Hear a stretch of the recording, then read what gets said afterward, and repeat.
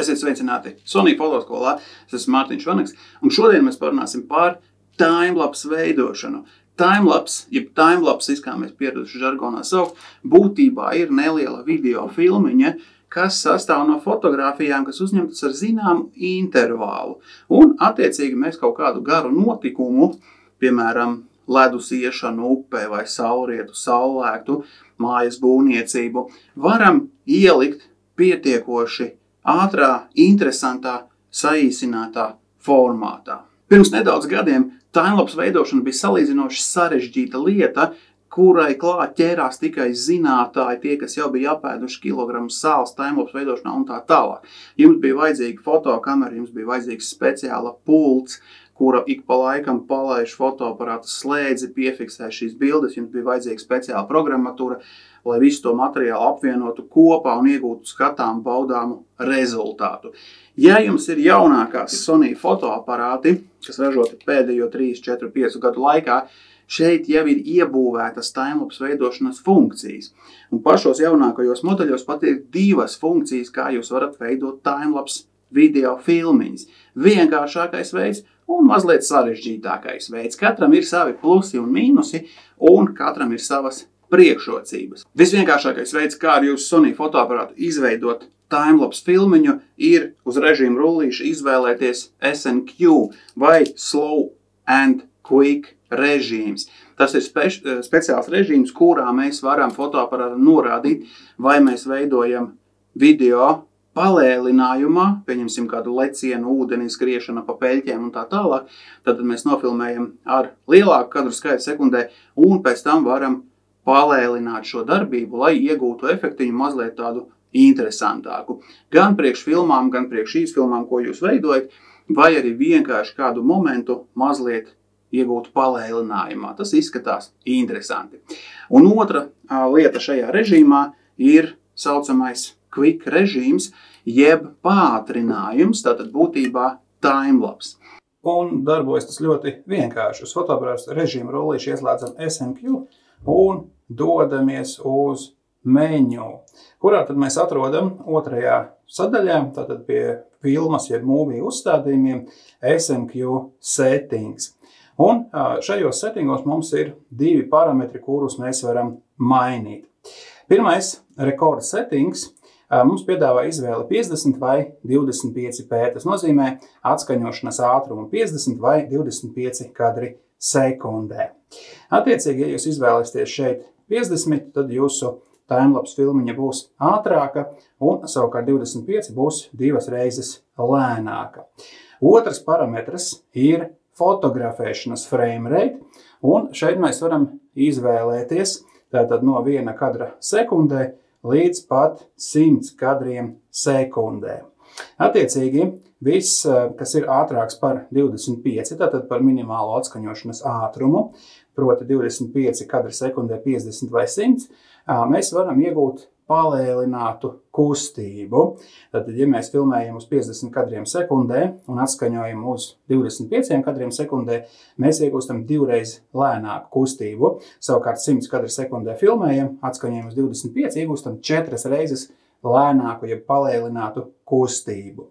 Un savukārt 12, 6, 3, 2 un 1 FPS nozīmē, ka jūsu fotoaparāts fotografēs Šajā gadījumā pieņemsim ar vienu kadru sekundē, un šos kadrus atskaņos tajā rekorda settings, tajā tātad atskaņošanas ātrumā, kā tiks veidota šī filmiņa. Saucās viņš rekorda setting, tāpēc, ka tas ir tas, no cik kadriem tiek veidota jūsu filmiņa.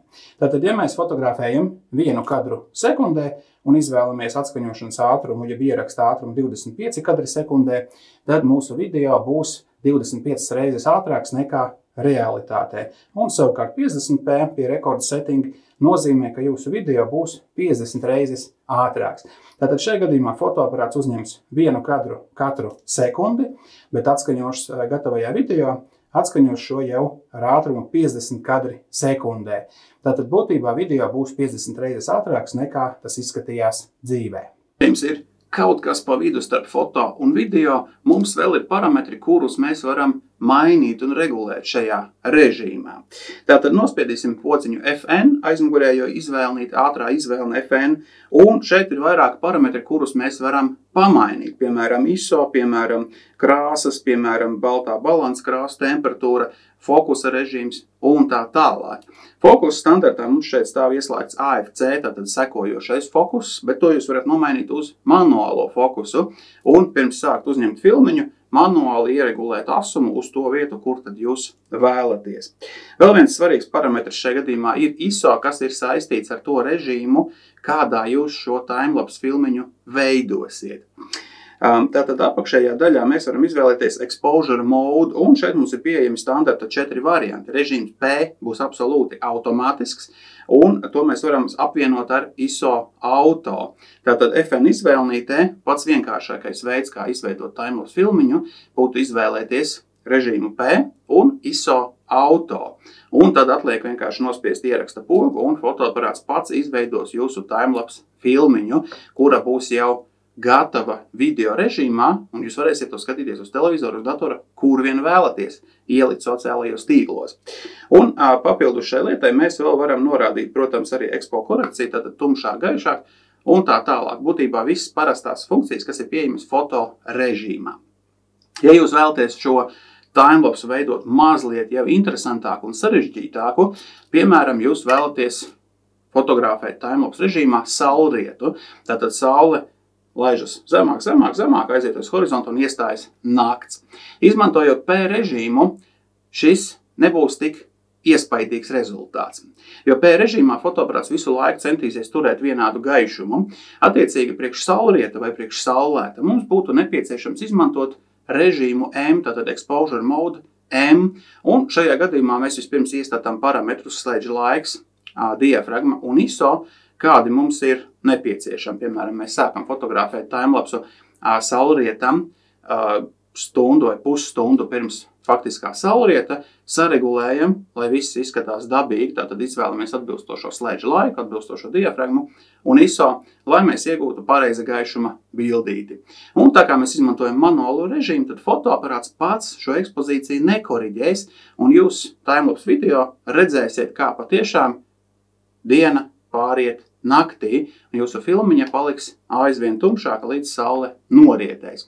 Tie jau ir tādi radošāki paņēmieni, bet nebaidieties eksperimentēt. Protams, mums ir pieejams arī A un S režīms, ja ir nepieciešams sastindzināt kādu kustību, izmantosim režīmu S, un, ja ir nepieciešams kontrolēt asuma dziļumu, izmantošanu režīmu A.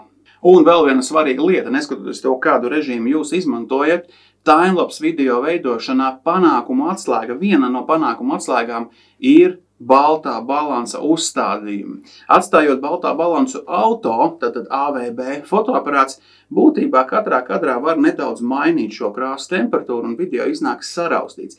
Tāpēc ieteikums baltā balansu izvēlēties vienu konkrētu atkarībā no apstākļiem, kādos jūs fotografējat. Vai nu tas varētu būt saulīte daylight vai mākonītis, tātad klaudija apstākļi, vai arī kādu no kvēlspuldzēm, ja jūs timelapse veidojat telpās. Protams, jāpiebilst, ka jums būs vajadzīgs neliels statīvs, kas jūsu kameru tajā timelapse laikā noturēs nekustīgi.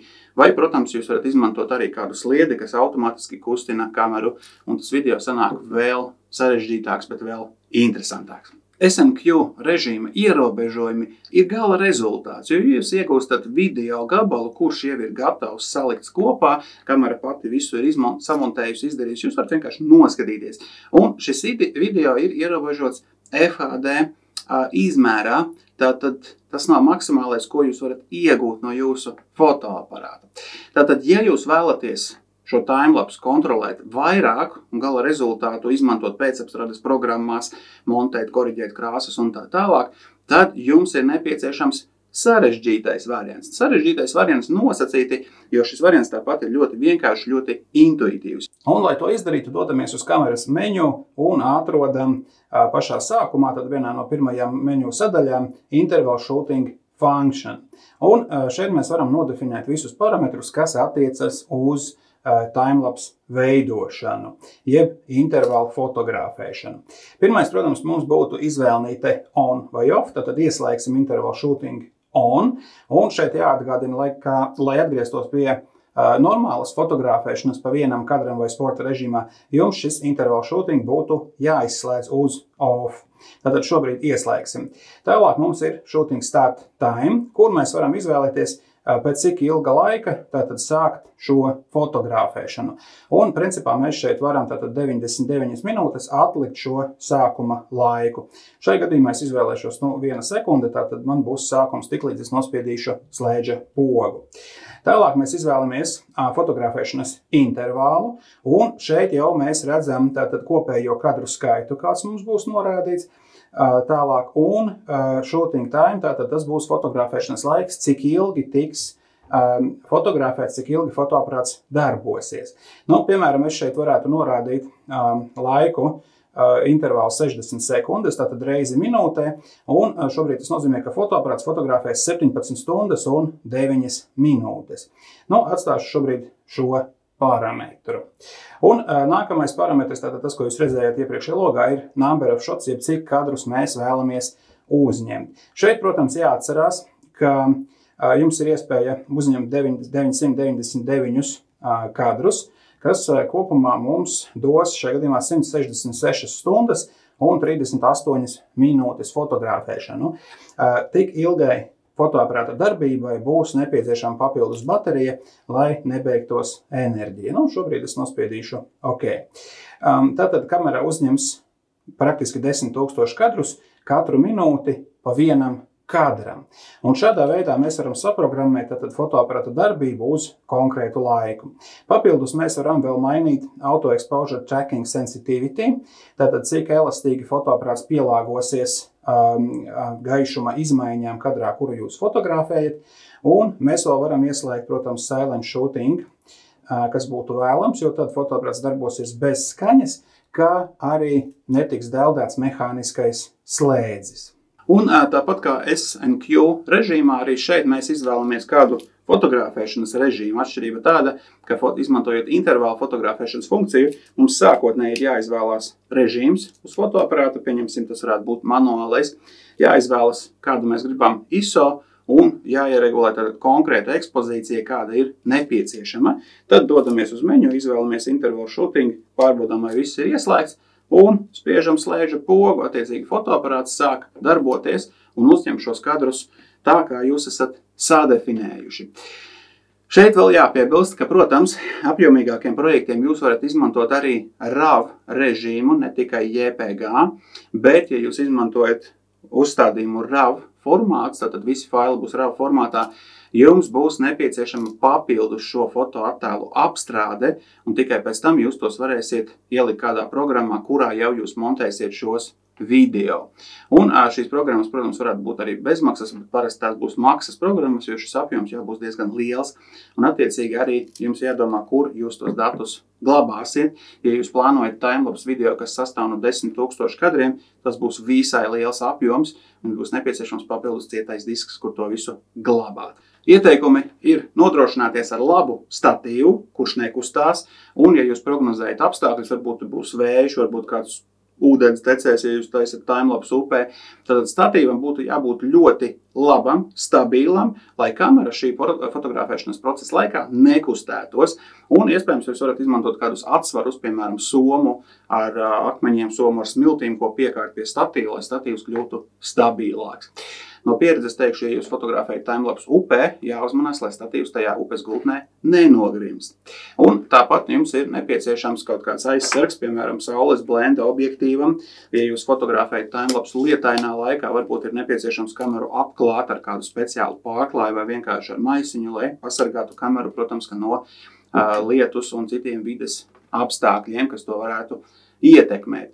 Tāpat, ja jūs fotografējat timelapse vasarā, ieteikums kameru nenovietot tiešos saules staros.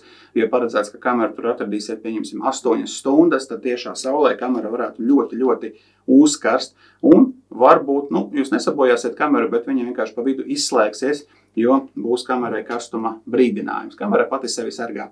Bet tāpēc labāk novietot kameru ēnā, lai tā lieki nepārkarstu. Parūpējieties par rezerves baterijām un galvenais nebaidieties eksperimentēt. Sāciet ar SNQ režīmu, tātad 50p1 kadrs sekundē, un paskatieties, kas no tā timelapse sanāk, atrodiet interesantu sižetu, un galu galā visādas dabas parādības, kas notiek salīdzinoši ilgi, mēs varam padarīt skatāmākas, interesantākas, un tālākais jau ir tikai jūsu iztēle, jūsu ideja, ko jūs izvēlēsieties veidot timelapse formātā. Un atcerieties, ja jūs vēlaties saglabāt gaišuma izmaiņas dabā, jūsu timelapse video, tātad, piemēram, saulrietis vai saulēks, jums ir jāizmanto režīms M, un fotoaparātam jānodefinē, kāda gaišuma ekspozīcijai ir jābūt. Ja jūs fotografējat kādu notikumu, procesu, kur gaišums dabā nav tik būtisks, piemēram, ēkas celtniecība vai kāds pasākums, sporta spēles, kaut kas tāds, vienkārši mašīnas brauc pa ielu, tad jūs varat labāk izmantot režīmu A, jo tad fotoaparāts pats pielāgosies šai ekspozīcijai un visā video laikā centīsies saglabāt vienāda gaišuma kadrus. Attiecīgi video būs skatāmāks, jo nemainīsies visu laiku gaišums dabiskajā apgaismojumā ārā. Tas arī īsumā viss par timelapse veidošanu. Veiksmi darbos, sameklējiet interesantu ideju un sāciet veidot timelapse video.